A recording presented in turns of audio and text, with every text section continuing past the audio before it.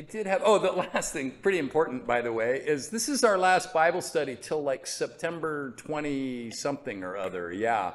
I think I get back to 20th. We kick off the book of Judges on September 27th. Yeah. Okay, but let's go ahead and jump in. Um, I, will try to make this a quick story, but I was on the beach. Uh, you know the guy that does the funny workout at the beach, the yoga guy?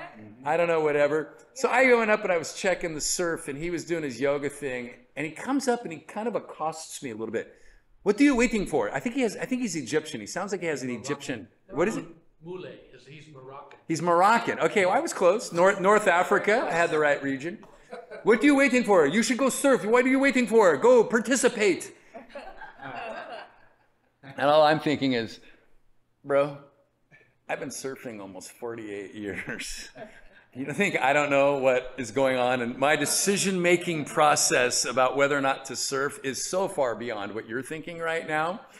But then he launched into the mumbo jumbo, and I don't even remember exactly what it was, but he launched into some spiritual thing. You see the body and the mind and the spirit, and I just, my eyes rolled back, and I was like, and here's why. I don't mean to be super cynical. I'm looking at Charlie, I know he can relate. Greg, Steve, yeah. If you grew up in California in the 70s like me, oh my gosh, we got earfuls. Uh, there's a song by the Grateful Dead called Estimated Prophet and it's, it's a mockery of all the self proclaimed and self appointed gurus that quickly wanted to tell you what was going on spiritually. And then I've discovered, since, you know, if I mention I'm a pastor, oh man, do people want to launch into, let me tell you, let me tell you how it really is. And they want to launch into this, and they'll usually include the Bible as, oh, the Bible, but that's just part of it, and da da da. Well, you know what? I didn't say it to this guy, but it kind of bugged me, and I just kind of ignored him, and he went away. But I got to thinking, man, you know, after last week's what's that? How did you get him to go away? Ignored him. Oh, I said no. I said have a great workout, and then he was like, oh, okay, and then he went and did his workout. Yeah, but um, but uh, last week I thought this is the best. Like, if anybody says anything to me, I'm just going to say this. Um, where is it? Was it last week? Do you acknowledge that Jesus Christ has come in the flesh and is from God? Because if they say anything other than yes, right? Then I'm, so, I'm sorry. I'm sorry. Well, according to the Bible, you're a false prophet, and the Bible is where it was my wisdom. So I'm sorry I can't listen to you. You're a. Isn't that great? It's so simple. Every spirit that acknowledges that Jesus Christ has come in the flesh is from God. Every spirit that does not acknowledge Jesus is not from God. End of story. It's so simple. So, How come you didn't say that? what's that? How come you didn't say that to the guy? I, I didn't think about it till after I rode my bike, and I was on my bike. He was on his bike. I was driving away, and I was like, you know, the book of John has just made it really simple. Like, yeah, if you're, if you, you, anyways, isn't that cool?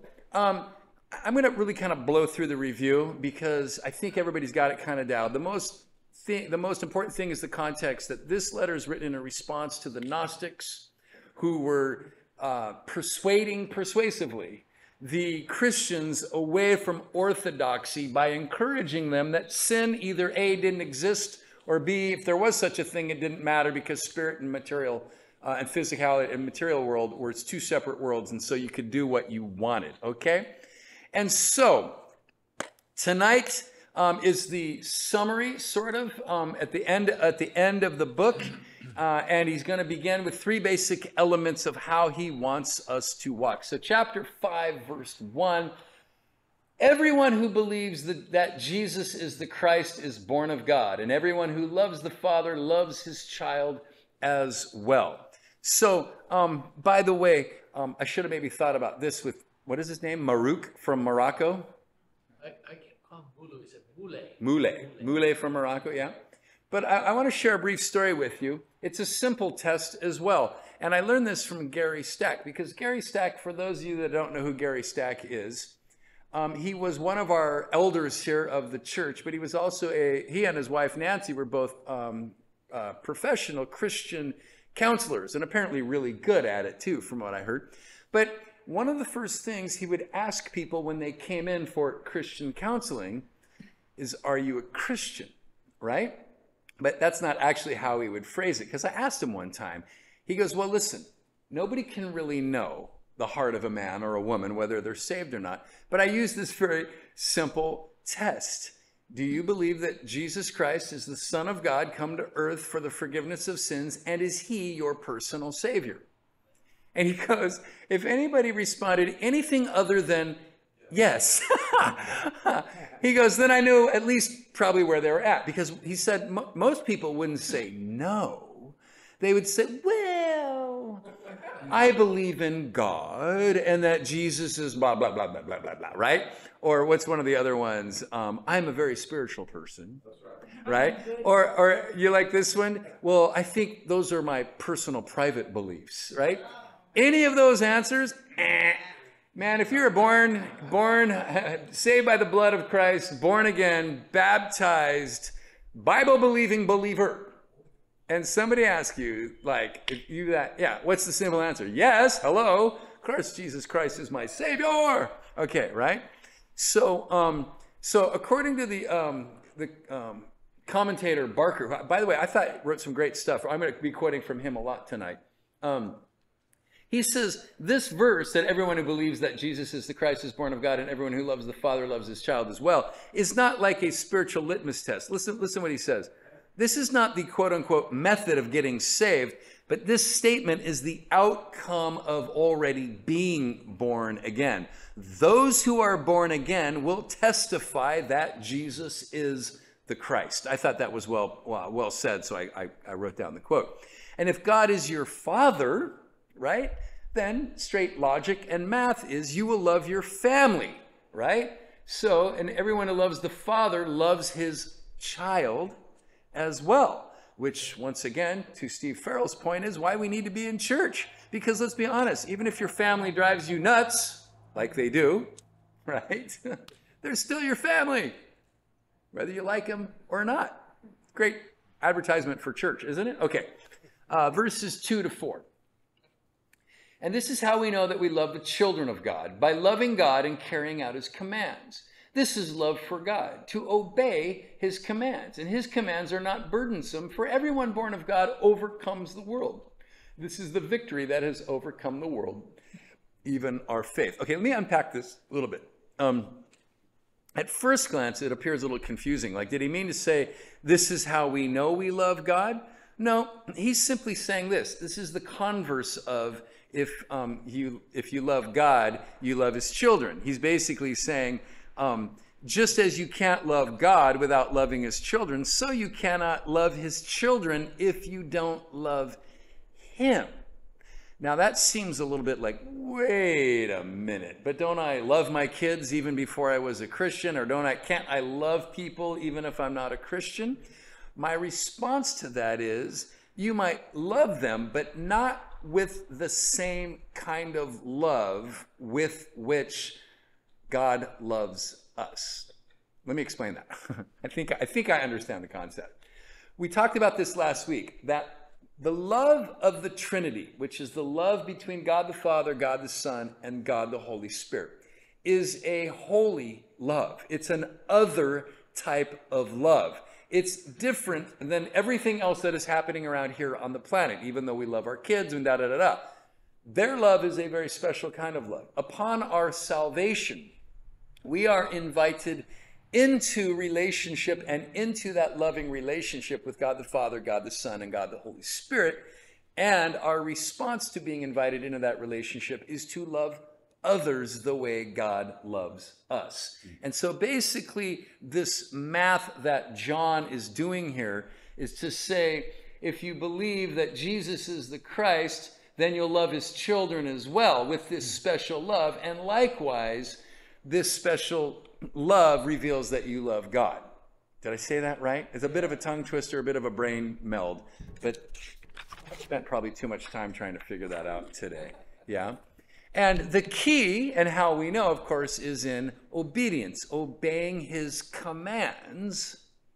Now that's interesting because, oh, how do we know? Well, we obey his commands. And I wrote in my notes, parentheses, which sounds burdensome, right? But that's not really true, okay? It, it depends on what your view of obedience to God means in your head. Because, yeah, perspective, because it is our obedience which leads to overcoming the world. So let me take, let me just, before you raise your hand or anything, let me explain. First of all, I want to read this quote from Glenn Barker. To the natural man, that means the unsaved man, the will of God is strange, and the requirement for righteousness foreign and hard. Even the law of love is a burden. But when God has entered into us, and when we trust God's Son, then his yoke becomes gentle and the burden light. We who have been born of God have within us a desire and a yearning for the Father. Seeking and hungering after righteousness becomes our joy. Living the life of love becomes our delight. The commands of God bring us the freedom and the liberty we so heartily long for. Now, that doesn't mean it's going to be easy either, right? But it shouldn't become a drudgery and a burden. And so here's an example that I came up with. It took a while for many of us, and me especially, to understand that being obedient to God is the way to the eternal life that He has for me, that brings about joy.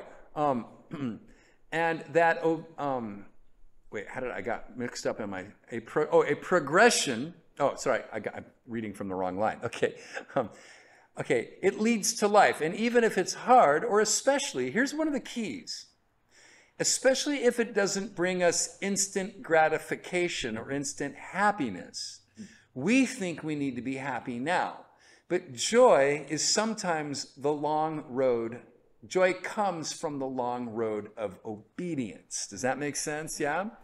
And then I think what happens is as you gain maturity in your faith and you become more practiced, at living this life of love and obedience to God, you begin to see its fruit and you begin to understand why it can't be considered a burden. Does that make sense? What a real burden is, is sin. because sin entangles and sin oppresses. And it just really does. And then you begin to see that the obedient life leads to um, a, a free conscience, yeah? An understanding of what real living is and what life is. And sin is what seems to become the burden. Did that make sense? Okay, okay. Let me just read this last verse, verse 5, and then if you guys want to uh, jump in, uh, this is kind of just the summary of that section. Verse 5 says, Who is it that overcomes the world? Only he who believes that Jesus is the Son of God. So this is interesting because he started the section with belief, everyone who believes that Jesus is born of God, and he ends with this idea of belief. Only he who believes that um, who overcomes is he who believes. So to overcome in the Greek means to conquer or prevail over. And by the way, a couple commentators went way down that bunny hole. They went down um, the, uh, the book of Revelation has a whole list of promises to those who overcome. Like to all the individual churches, to those who overcome the world, you will eat of the tree of life. They will, those who overcome will never die. Those who overcome will be given a new name. Those who overcome will enjoy the hidden manna. Those who overcome will wear a white robe. Those who overcome will have a place in his book. All these awesome things that when you overcome um, the world. And the cool thing is, you get all of that simply for believing that Jesus is the Son of God, the come, the Messiah who has come. So, anyways, pretty pretty booming um, promises there. Okay, water and blood. Uh, this wasn't super complicated, but it's a little interesting. Okay, verses six through nine. This is the one who came by water and blood, Jesus Christ. He did not come by water only, but by water and blood. And it is the Spirit who testifies, because the Spirit is the truth. For there are three that testify the Spirit, the water, and the blood. And the three are in agreement. We accept man's testimony, but God's testimony is greater because it is the testimony of God which he has given about his Son. Let's just pause right there. Okay. Um, water and blood is a basic concept however, these verses have been greatly argued about over um, throughout history. Um, St. Augustine linked these verses directly to John 19:34, that when they pierce the side of Jesus, what comes out? And blood, water and blood, right? Calvin and Luther, in doing their high church thing, connected it to John's uh, to John chapters 4 and 5 and connect it to the sacraments. Yeah. John 4 and 5 is all about the blood of Christ and the bread, um, the bread. And so they dragged all that in. However, others saw in it the Old Testament sacrifice, sacrificial symbolism of water purity rites. Because remember, water purity rites were a big deal when we went through Leviticus. They had to purify themselves with water. And then, obviously, um, the um, animal blood sacrifice. However, these days, most people are in agreement that this is more linked to his baptism and the blood that he shed on the cross. How much all of that really matters, I don't know if you care, but I thought I would give you some background on what has been um, discussed before. Uh, by the way, some of you might have in your notes, in some translation, it uses the word. Uh, for there are three that testify the, wor- um, the Spirit, the Word, and the blood. Don't ask me why. I'm sorry, I think I got it wrong. Late manuscripts of the Vulgate testify in heaven the Father, the Word, and the Holy Spirit. These three are one. And they, they think that was added later um, to give a proof of the Trinity. That makes sense? Um, but the earliest versions don't have that. They actually have spirit, water, and blood, if you care. Okay, so um, uh, the Spirit testifies because man cannot testify with 100% truth because of sin. And uh, this likely uh, is related back to the Holy Spirit at Christ's baptism. The Spirit comes when, when the baptism takes place, which is the water. And as you're also probably aware, um, all through the Bible, the Spirit is sort of referred to in the context of water. Okay? Um, and then in the this is kind of cool in the present tense in the Greek it shows that the Spirit is moving continuously in his witness to the community of believers. In other words, it's not written like and the Spirit testified at that time, but the Spirit is continually testifying to us in our hearts. It is the Spirit of truth constantly leading us into truth. Now, verse 7 has an interesting side note. Um, where let's read verse 7 first. Um, For there are three that testify the Spirit, the water, and the blood. And if I read from the NIV notes, um, other versions, uh, and there are three that testify on the earth that are, oh, all that, I'm sorry, this, I got myself confused. That was what I meant to say about the earlier versions from the 16th there's no version before the 16th century that includes the Father, the Word, and the Holy Spirit. Does that make sense? Sorry. I confused that. I went back to that first point. I thought it was two different points. It was actually one main point. The last part about this little section I thought was interesting.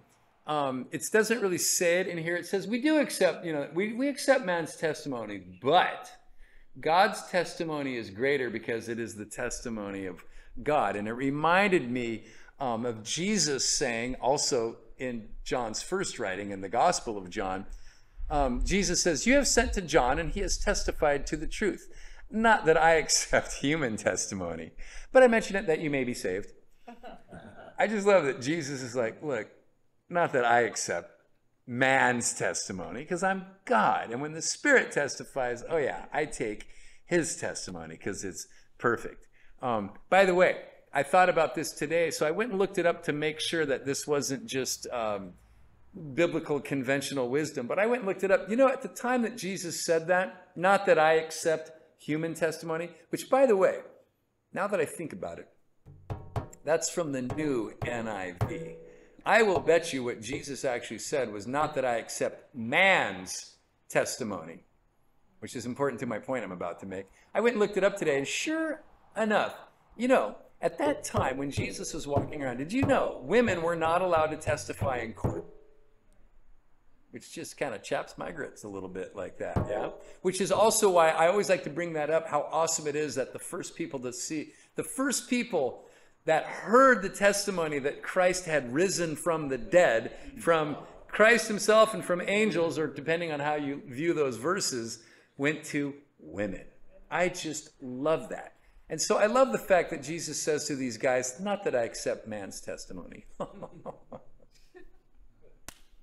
I don't know if he was saying that as a dig, but I see the historical humor behind that. Way to go, Jesus. Okay, so uh, verses 10 to 12, the fact of the matter is, verses 10 to 12, anyone who believes in, oh, I love this. These are the classic lines. Anyone who believes in the Son of God has the testimony in his heart. Because who do we have in our heart?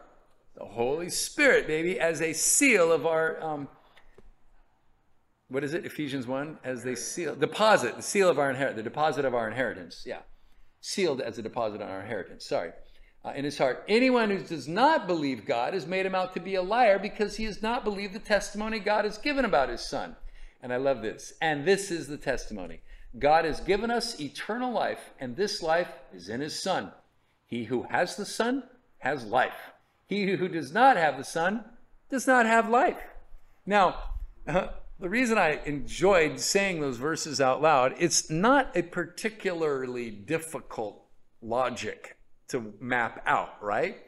Um, but it's all laid out, right? The first consequences of the nature of the reception of the testimony, and then the testimony itself. It's the positive and the negative, and it's repeated twice that you might be sure. It's laid out in real black and white terms. You're either in or you're out, alive or dead, slaves to sin or free in righteousness, in the dark or in the light. Those are all scriptural descriptions of the same thing. Now, listen, people can clearly be in process you know, salvation is not always necessarily occurs to us as a one time thing. I believe you are either in or you are either out, but I don't even know that we're particularly aware of exactly when that happens. And then if you want to throw in some Calvinism and predestination, we could really go take a left turn and go down a bunny trail that we won't do, um, right? However, with that said, at the end of the day, and I'm talking end of the day, judgment day. Your name is either in the book of life or it is not, which I thought would actually make for a really creative, interesting movie idea.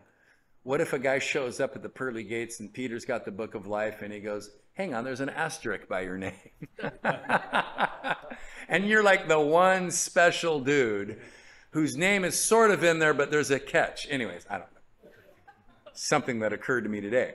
Now, Oddly enough, this was one of the very first memory verses um, I ever did when I was first getting discipled by Creature in 1992. I was a brand new Christian, been a Christian for about a month.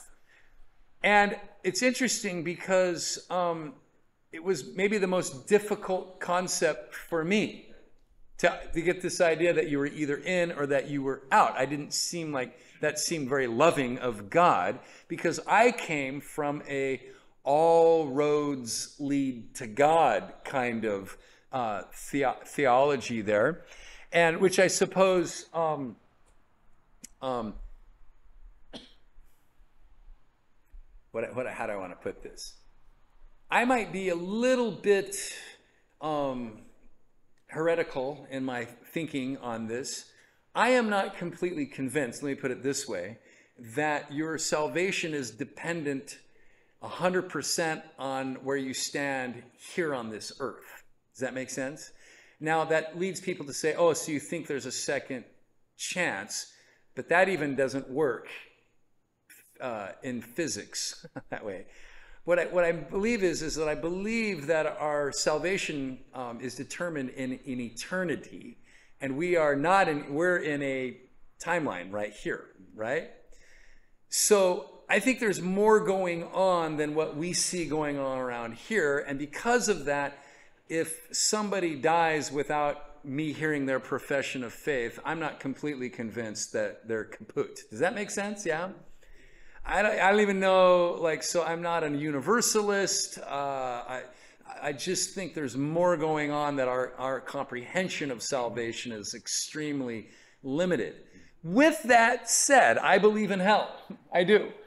I also believe that at a certain point, your name is in that book or it's not, right?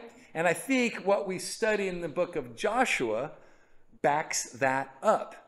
At a certain space in time, God, like, remember, He created a space in Israel, right? And this will be my land. And anybody dwelling in this land will submit to my authority. And you really only had, what was it, two choices if you were a Canaanite well, actually, maybe three submit, skedaddle out of there, or be destroyed. That was it. Because in heaven, there will be nobody in heaven who has not submitted to God. Otherwise, it ceases to be heaven. Does that make sense? So, to me, this verse rings true. You either receive the Son and have life, or you don't receive the Son and you don't have life. And it works actually even in this era we have right now because we believe that when we have received Christ, we have have stepped into eternity already. Okay? Anyways, that's my understanding of it. Maybe it's not perfect or what have you, but that's where I've gotten to thus far in 30 odd years of trying to figure it out and trying to reconcile a gracious, loving God with the idea that nobody's going to be in heaven with us with their sinful nature intact. Right? It just can't be. Okay. Uh, and then we can actually stop there before we get to concluding remarks. Does anybody else want to add? Luigi? So, you know, saved or not saved, Right. right? And then if you're saved, you're on a path of perfectibility. True that. If you're not saved, you're not on the path. You're just stuck. Yeah. Yeah. Yeah. And perfectibility means, Change. you know, kaizen, Yeah. continuous improvement. Yes. What's kaizen? It's a Japanese word. Oh, okay, good. I was like, I was like, now that's a biblical term I haven't heard. Yeah, it's Japanese, and what does it mean? Continuous improvement. Continuous improvement. Yeah, and I, I would I would agree with that. I believe that I believe that from the bottom of my heart. I believe uh, Ephesians chapter one proves it. Like it's all the benefits and it's all the um, the gifts that God gives to the believer that pretty negate this idea that you could be stagnant. Like you know that if you're if you're a believer, you're growing. Yeah. And anyway, so I, I agree. Good stuff. Anybody else? Perfect- Perfectibility carries into heaven. Yeah, well, it has to. Yeah. Yeah. I'm going to repeat that actually for the camera.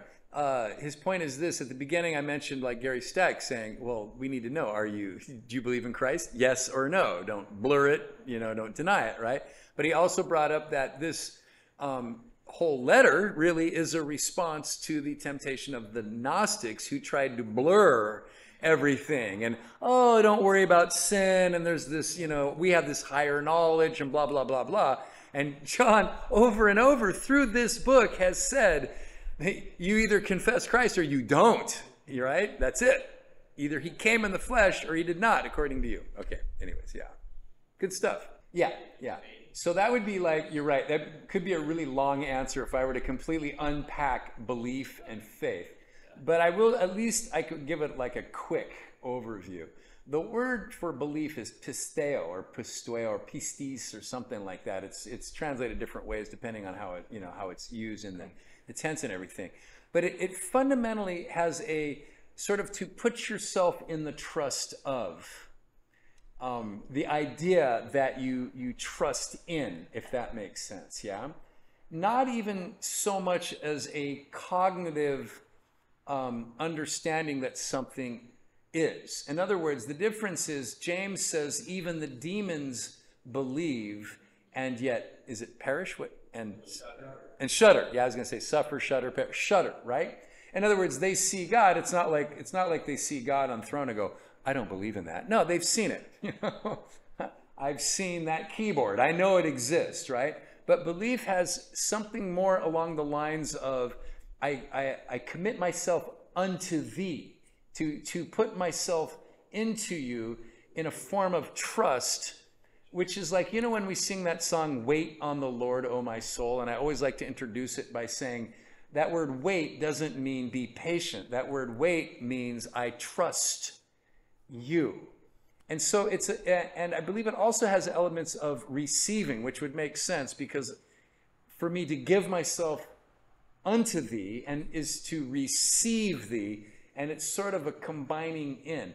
Now, because us, the sinner, are sinful, for us it is a dying to self and a humbling and a coming in under of, such that when it says in Romans 10 9, if you confess with your mouth and believe in your heart, that if you confess with your mouth Jesus is Lord, and you confess him not is, but as your Lord, that's part of that belief that you have now come under his authority, if that makes sense. His authority, his, his protection.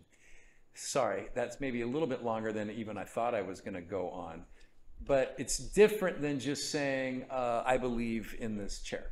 And I got a good answer for that. Kind of the way God set it up, you know. I think I have an answer for that. Yeah, I think I have an answer for that. And the reason why is because we because of we cannot do anything to earn salvation. Because we're saved by grace and grace alone. And the grace is received by faith as a gift.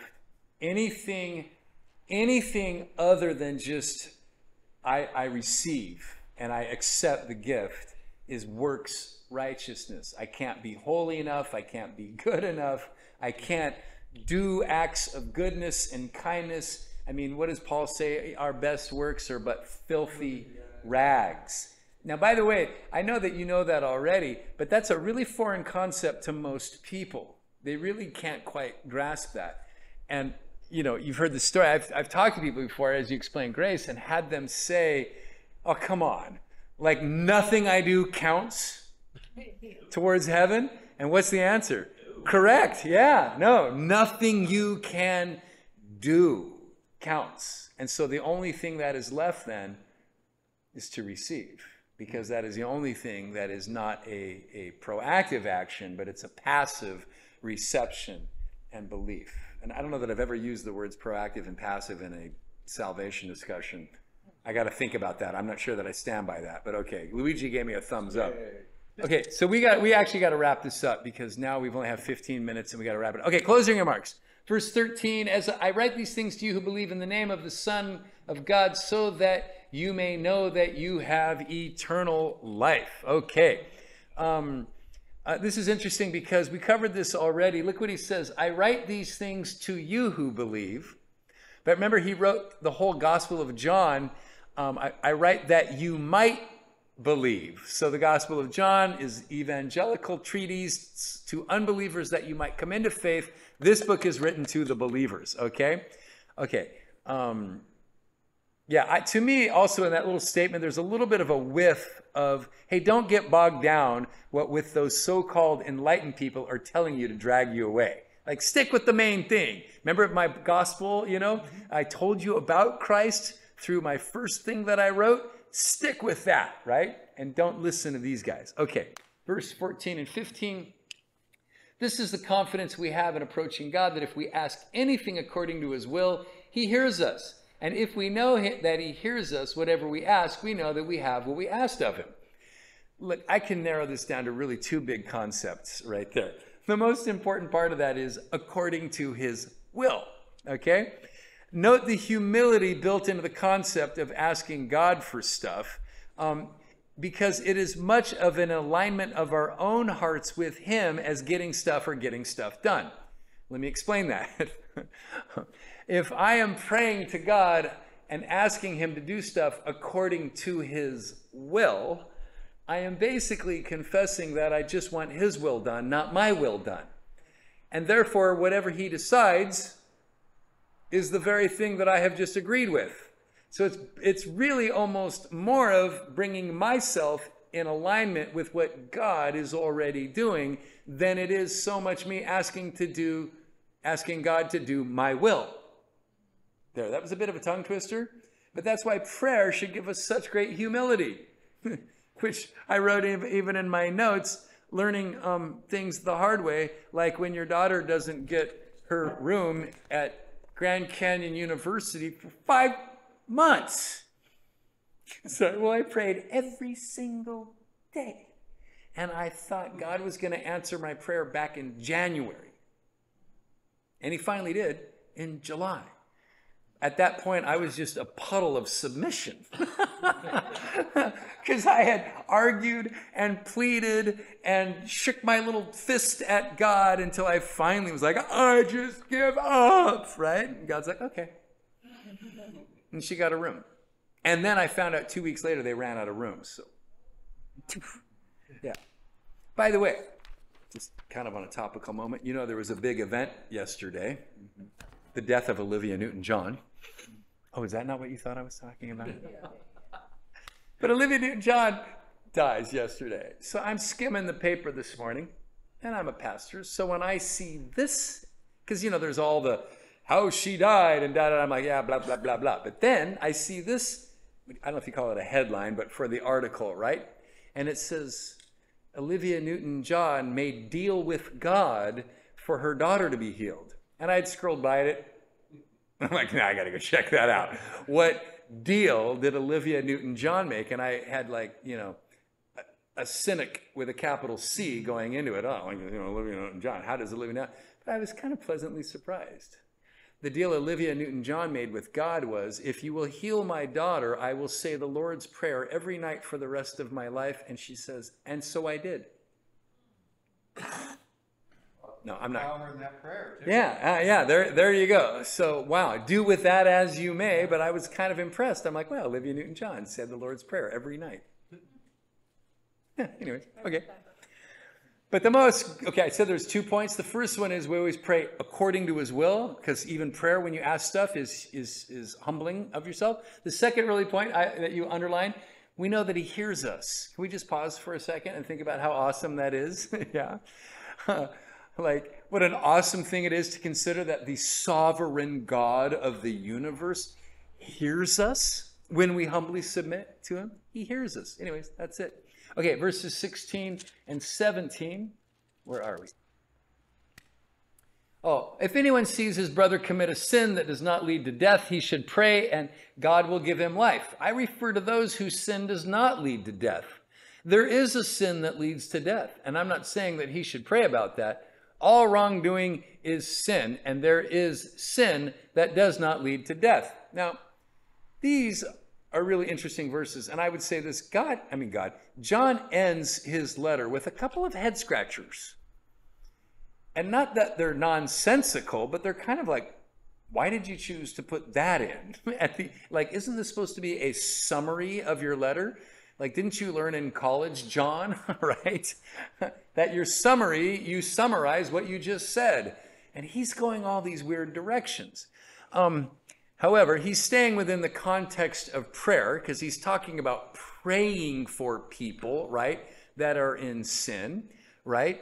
But um, Barker uh, said this if love requires the willingness to lay down one's life for a member of the community, then it follows that if one sees a brother commit sin, he is obligated to intercede for him in prayer. So he's saying, pray for our brothers and sisters who sin, pray about their relationship to sin. But let's be quite honest. Nobody really gives a rip about that in this verse, right? What everybody wants to know is what is the sin that causes death? Yeah. right? Am I right? That's really what everybody really wants to know. What, what, what- just while you're on it, Dink, real quickly, remind us um, what is the sin that leads to death? Just asking for a friend, right? Because isn't that what we all really want to know? Well, just so you know, nobody is really totally sure, okay? We don't really have enough in the context of these verses to say.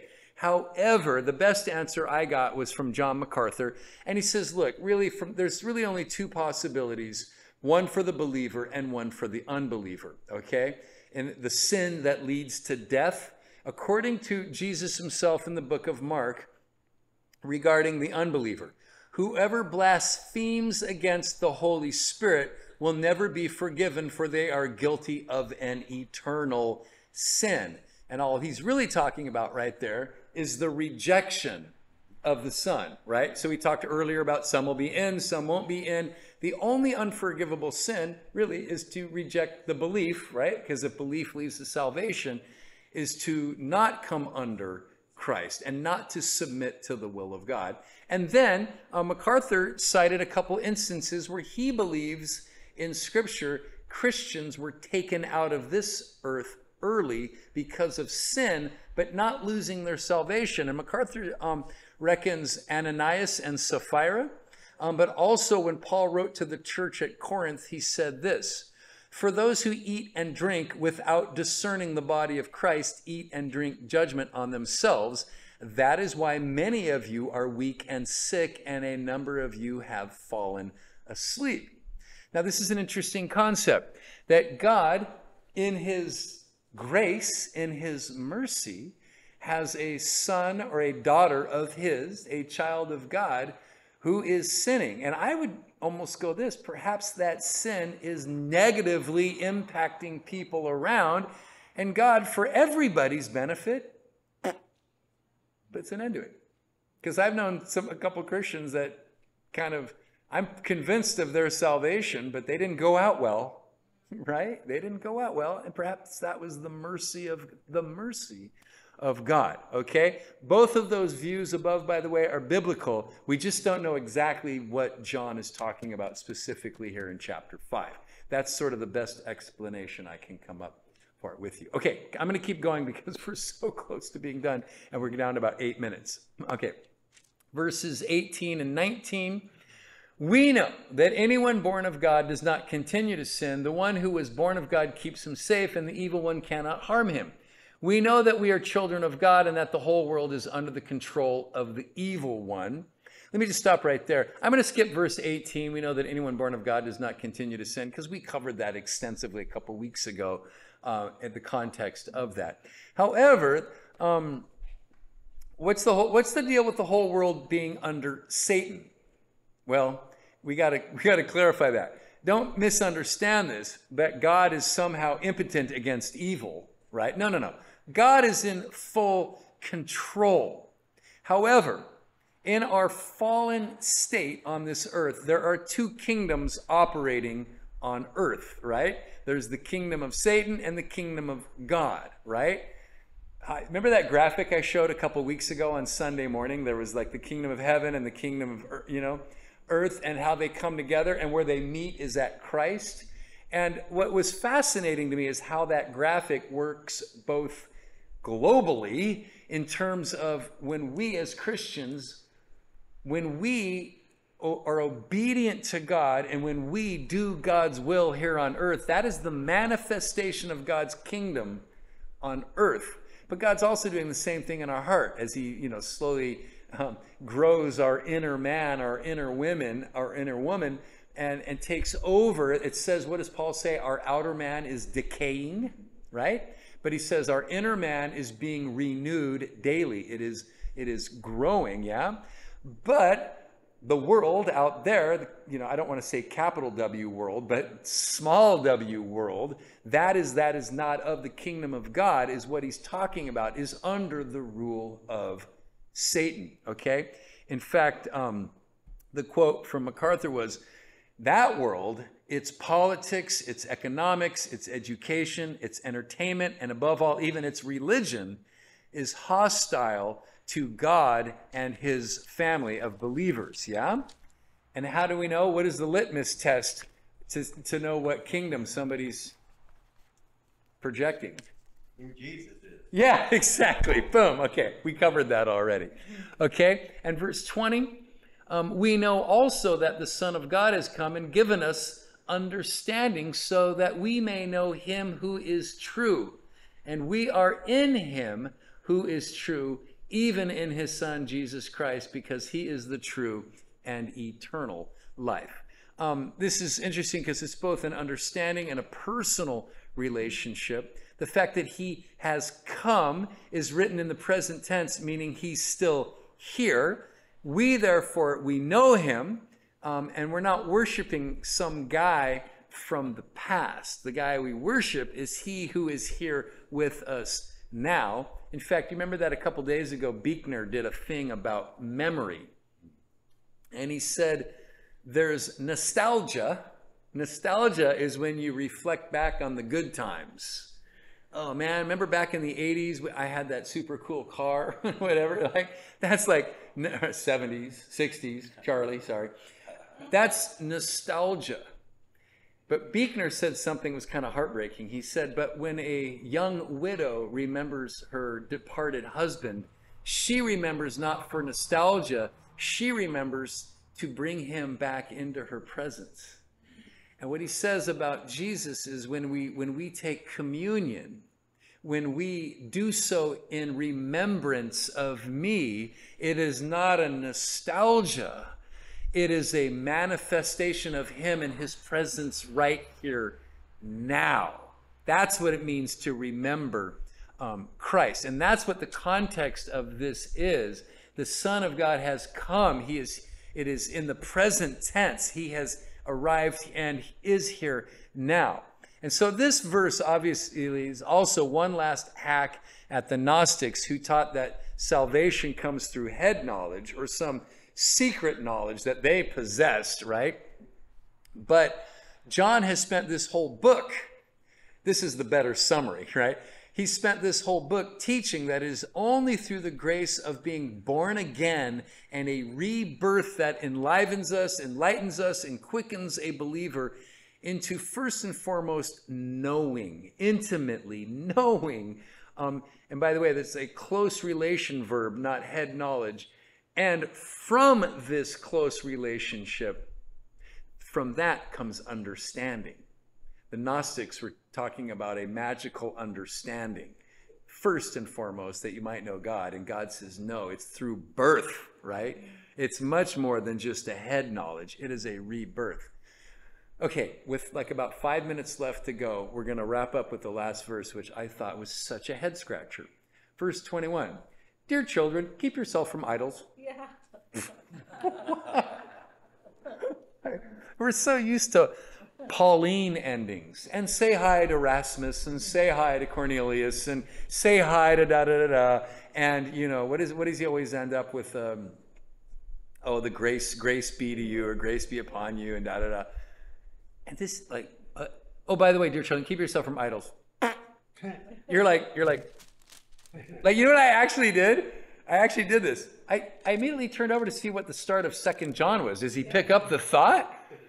Like, did he finish the thought? No, it says, Dear elder. No, never mind. Yeah, like, what? It's so weird. Okay. In fact, I wasn't alone. Even um, the commentator, Glenn Barker, said, At first glance, it seems out of place. Idolatry has not so much as even being mentioned anywhere in the epistle. So at first, um, it seems like he's saying, uh, avoid any contact with paganism. Um, but more likely, this is interesting, it might be one final admonition to avoid the heresy of Gnosticism. So this is what Barker said, and this is all I'm going to say about it because I thought he, I thought he said it well. False teaching, which is what the Gnostics were doing, right, is ultimately apostasy from the true faith. To follow after it is to become nothing better than an idol worshiper, especially if it is a matter of the truth of one's conception of God. The author here is being blunt. The false teachers propose not the worship of the true God made known in his Son Jesus Christ, but a false God, an idol they have invented. So, um, so I'll close with these thoughts, and these are just my own thoughts to close. Pagan gods in the Old Testament led people to follow their worst instincts, right? Orgies, that kind of stuff, right? Um, and they were against God, and they led people against God and into sinful lifestyles that worshiped self and pride and lust. And it ultimately was a foul cult of death. Likewise, in our world, we have a, in the world around us, a cult of abandon all morality in favor of personal fulfillment, finding one's own truth, self concerned, and this idea that God wants me to be happy and that therefore justifies whatever immoral act I decide to do, right? And John says to us, just as he said to the church at Ephesus 2,000 years ago, not you guys. No, no. You have been born again. You come under submission into the obedience of God, and this is not burdensome. This is the way to life and a true, eternal life in God's Son. Amen? Any questions or comments before we wrap up? Well, well didn't, didn't John kind of hit on self, self-indulgence quite a bit. I believe he did, yeah. Okay, so in self-indulgence, who's the idol? You, I you, I, me, me, me, me is the idol. Yeah, Yeah. absolutely. In fact, oh, I'm such a, that was so me. Talk about an idol to self. You know what I talk about? Like, you know, cre- creating your own God. You know, I take a little bit from Buddha. I take a little bit from the book of Hindu. I take a little bit from the Bible and some common sense. And it's like a bobblehead, doll, bobblehead doll of me. it's me. Tell me what I ought to do, Lord. I'll do whatever you say. Tell me I'm good again, right? Yeah, yeah. It's totally. Who's the best surfer? Yeah, yeah, who's the best surfer? Uh, am I the best surfer? Uh, yeah. It's- Greg knew me then. Greg and Carrie knew me then. I don't think anybody else here knew, knew, knew unsaved Dain. No, only Greg and Carrie. Yeah. You've stuck by me this whole time. You're like the thief on the cross. I know. They prayed for me before I was a believer. How cool is that? Yeah. What did you say? We'll pray for who? The varmint. The varmint. Anybody else before we wrap up? All right, let's pray. Father God, thank you so much for this night, Lord. I even want to just reflect back the time of worship we had together, Lord. I just really um, just felt super blessed. Perhaps it was knowing that would be our last night together for a few weeks. I just felt really the gift. Um, really, Lord, we, we talk about these concepts, and yet um, they're played out even in this room, and that is our, our the love that you have bestowed upon us, which has resulted in our love back to you, but also our love together, Lord. And what we get to create together here in this room on Tuesday nights is the manifestation of you and your love for us. And it's uh, exemplified through the love that we have for each other. So I'm super grateful for this group, Lord, who I will miss over the next few weeks. God, but keep us safe and keep us close to you, Lord, and bring us back together here uh, where we might once again, Lord, get deeply into your word and allow you to change us to be, again, Lord, become more like your son, because it's his name we want to glorify. So we give glory to his name, Jesus Christ. Amen.